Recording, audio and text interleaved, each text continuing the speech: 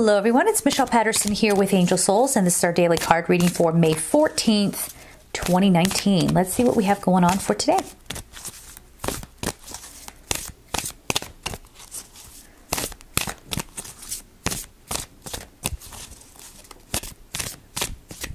Okay, so today's card is Oh, nice. Guardian Angel. Um, sorry, I'm kind of trying to put these at an angle so that the uh, lights don't reflect off of the shiny cards. But today you are being absolutely guided by your Guardian Angel. Yay! Of course you are every day.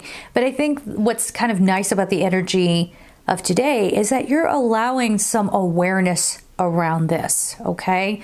So this is the kind of energy where your angels have been telling you and been trying to guide you in a different direction maybe or they're trying to get you to understand something about yourself or your situation and maybe you just haven't been listening, right? Maybe you don't want to listen.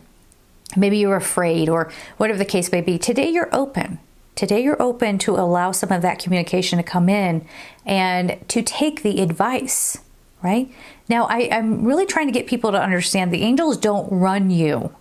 All right. People have this idea that we have this destiny and, you know, the angels come in and they just tell you what to do and that's it. As a matter of fact, I have people who get very frustrated with angel readings because they still have work to do.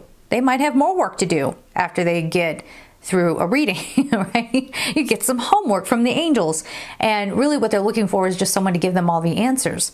That's not how this goes, okay? And if anybody tells you otherwise, be careful because angels go by God's, God's law, which is to not interfere with human free will.